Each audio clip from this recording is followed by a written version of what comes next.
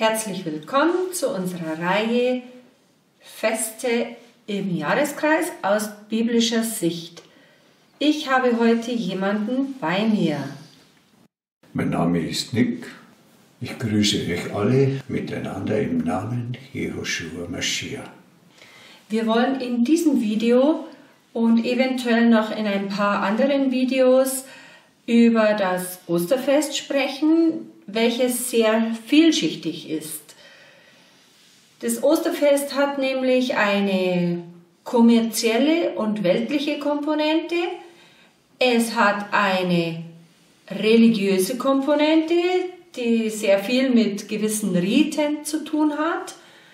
Und es hat eine Glaubenskomponente für diejenigen, die das Osterfest dann eventuell auch manchmal Auferstehungsfest nennen.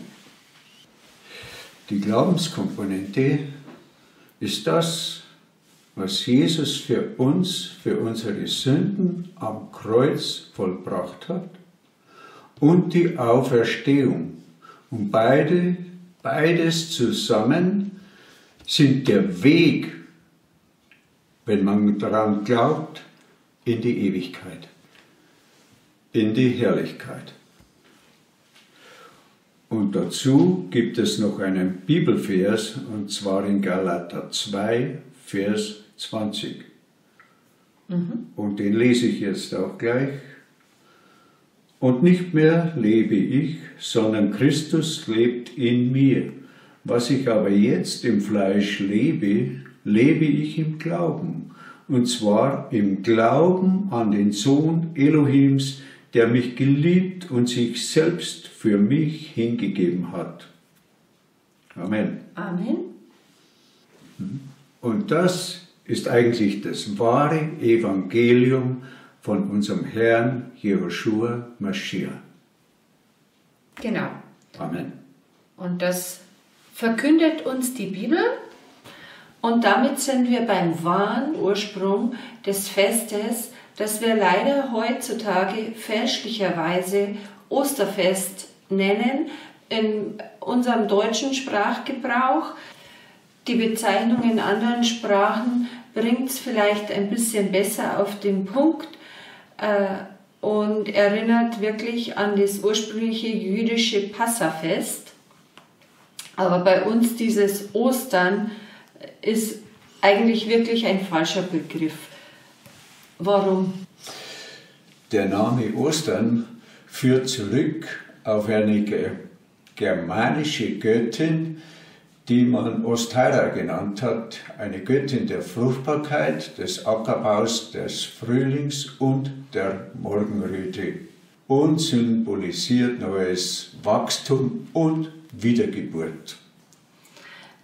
Wir sehen also, dass äh, dieses Ostern von der Namensgebung her eigentlich schon mal nichts mit Jesus Christus zu tun hat.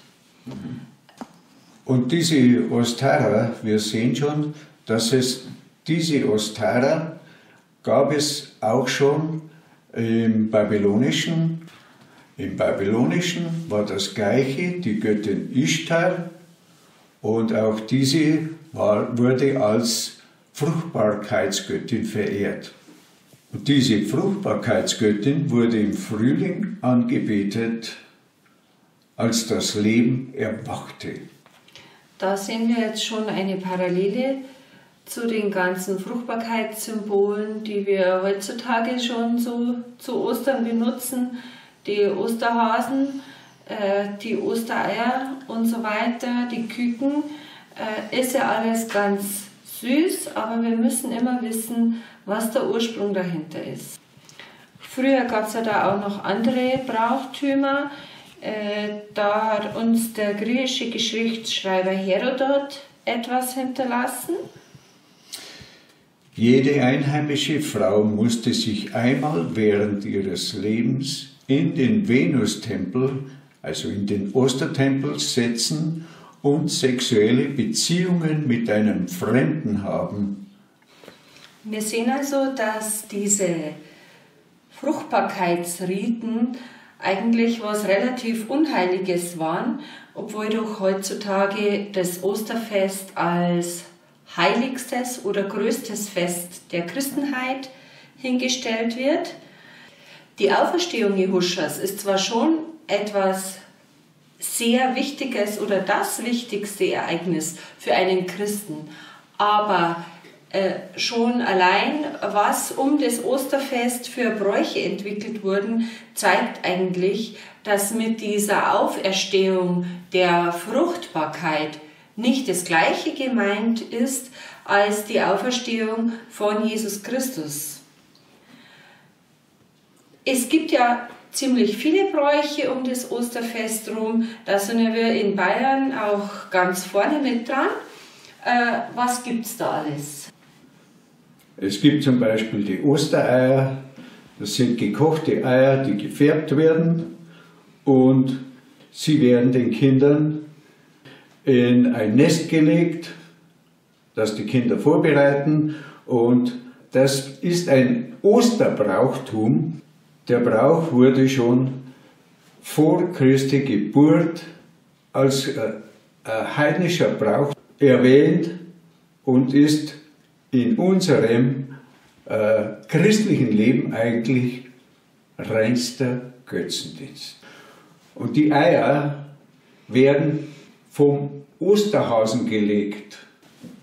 Dieser Osterhase, den es eigentlich gar nicht gibt, weil ein Osterhase keine, ja keine Eier legt, sondern ein Osterhase, den gibt es gar nicht. Und es wird mit dem verwechselt, der Osterhase wird als wahr erklärt und die Kinder glauben an den Osterhasen, die Kreuzigung Jesu Christi und seine Hingabe und seine Erlösung für uns durch sein Blut, das er hingegeben hat. Und was noch wichtiger dazu ist, die Auferstehung wird den Kindern so viel wie gar nicht erklärt. Das heißt, der Osterhase ist die Wahrheit. Unser Jesus Christus ist für sie, für die Kinder, ein Märchen. Genau. Und das ist eigentlich der springende Punkt, äh, warum das Osterfest, so wie es heutzutage gefeiert wird, oder einer der springenden Punkte, warum es eigentlich im Leben eines wahren Christen überhaupt keine Berechtigung hat. Es gibt ja auch noch andere äh, Bräuche, äh, die man auch besonders in der ländlichen Gegend kennt. Mhm. Und genau. Zum Beispiel am Palmsonntag, vorher praktisch, den Sonntag vor dem sogenannten Ostersonntag, ist die Palmweihe. Und da gibt es die Palmbüsche, also diese werden zusammengebunden zu einem Büschel und sie werden geweiht vom Pfarrer. Und am Karsamstag wird dieses Holzstück auf der Vorderseite angebrannt und das nennt man die Brandweih. Und diese Brandweih benutzt man wiederum am Ostersonntag.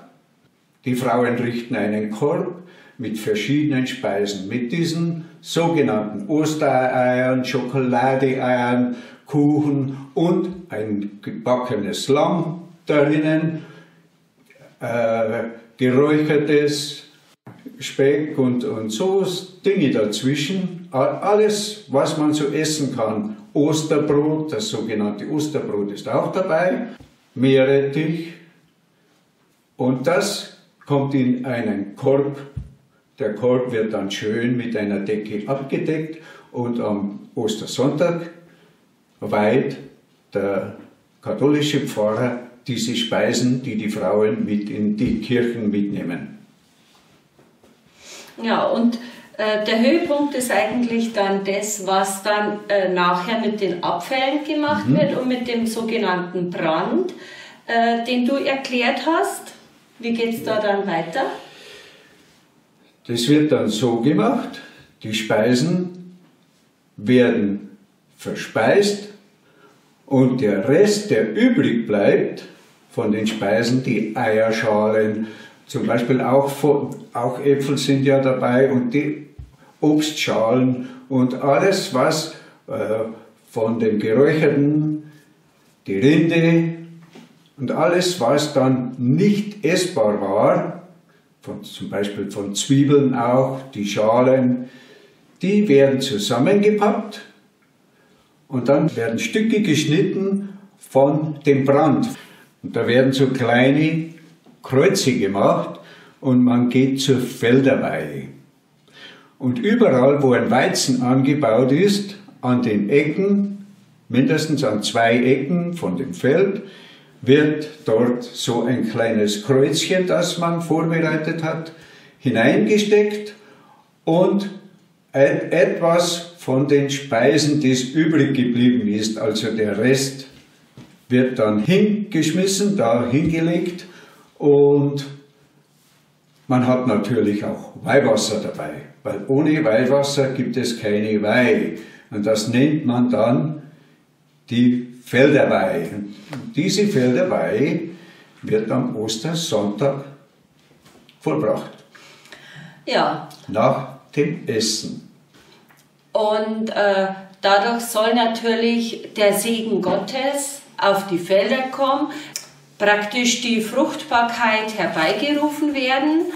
Und äh, in unserer Kultur wird oft äh, belächelt, wie primitiv gewisse Naturvölker leben wir sind stolz darauf, wie, wie weit wir entwickelt sind, wie fortschrittlich wir ist. Aber wenn wir mal Parallelen ziehen, es ist eigentlich nichts anderes, was mit diesem Brauchtum gemacht wird, als dass es, also Völker im, im Urwald machen. Ich nenne die gar nicht primitiv, weil die machen eigentlich dieselben Sachen und äh, es werden dieselben Sachen praktiziert wie schon vor vielen tausenden Jahren als es auch noch gar keinen Jesus Christus auf der Erde gab.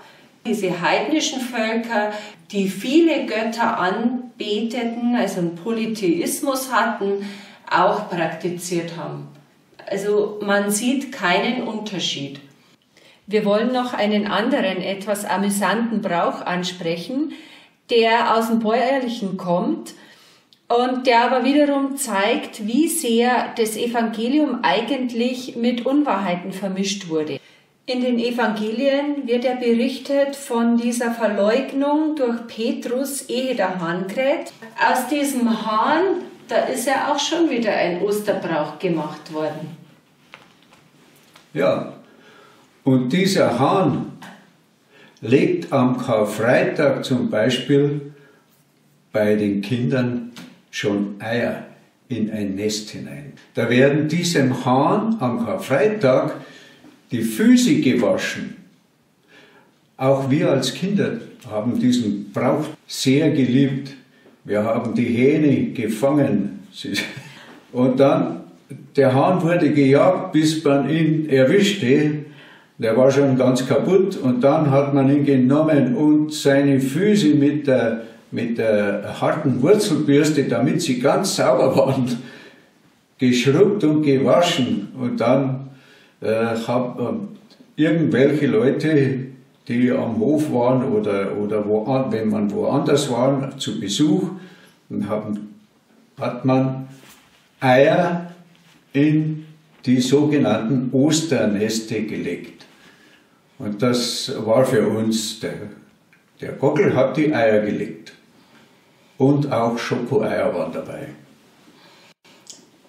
Also ist ja alles ziemlich lustig, aber es entspricht einfach nicht der Wahrheit und man sieht halt einfach, äh, das Schlimmste daran ist eigentlich, dass immer biblische Gegebenheiten, an die ja ein Christ eigentlich wirklich glaubt, dann wiederum mit gewissen heidnischen Bräuchen vermischt wurde und das ist eigentlich das Tragische an der Sache, weil ich meine, äh, dass jetzt Halloween nichts mit Jesus zu tun hat oder dass Fasching nichts mit Jesus zu tun hat, das sieht man noch ein. Aber diese österlichen Bräuche beispielsweise, da wird einfach Wahrheit mit Fiktion vermischt und das ist eigentlich das Tragische, weil so eigentlich unser Gott, unser Elohim, unser, unser Yahweh nicht richtig angebetet werden kann. Und viele Christen oder viele Kirchgänger, die meinen aber, sie tun das Richtige. Sie meinen, sie geben Gott dadurch die Ehre, dass sie ihre Speisen weihen lassen, dass sie, dass sie ihre Felder weihen. Die, die tun das im Namen Gottes und es gibt auch Leute darunter, die meinen es wirklich ernst, die machen das nicht als Spaß, sondern sie meinen wirklich, dass sie dadurch Gott einen Dienst erweisen und dass sie für sich äh, den Segen des Schöpfers erbitten. Die, die Leute wissen gar nicht, dass, es eigentlich, dass sie dadurch heidnische Götter anrufen. Hm. Und diese heidnischen Götter, die sie anrufen, die beanspruchen diese Seele der Menschen, die diese Brauchtümer tun. Und davon sollte man sich schleunigst abwenden und dem absagen und Buße tun darüber. Man sollte zu unserem lieben Herrn Jehoshua Mashiach, unserem Schöpfer, das, was wir in uns drinnen haben und gelernt haben, geben und um Verzeihung bitten, dass wir diese Dinge alle mitgemacht haben. Nur so können wir von diesem Götzentum, von diesen Brauchtümern, von diesen Totenkulten, von diesen falschen Lehren befreit werden und nicht mehr tun. Das heißt, nicht mehr tun. Paulus schreibt uns zum Beispiel an den Brief an die Galater, Kapitel 1, von Vers 6 bis Vers 9. Ich wundere mich, dass ihr euch so schnell von dem, der euch durch die Gnade Christi berufen hat, abgewendet zu einem anderen Evangelium, wo es doch kein anderes gibt. Einige verwirren euch nur und wollen das Evangelium des Christus umkehren.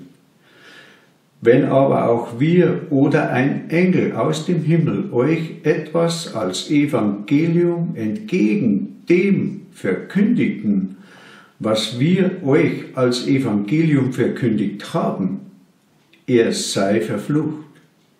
Wie wir früher gesagt haben, so sage ich auch jetzt wieder, wenn jemand euch etwas als Evangelium verkündigt, entgegen dem, was ihr empfangen habt, er sei verflucht. Und was wir empfangen haben, ist die frohe Botschaft.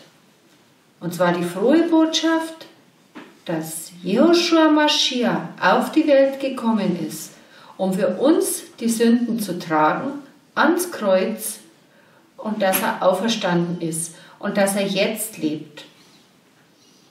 Und wir haben jetzt von den zwei unterschiedlichen Evangelien erfahren. Jeder hat die Entscheidung, und wir segnen euch alle im Namen Jehoshua Mashiach. Amen.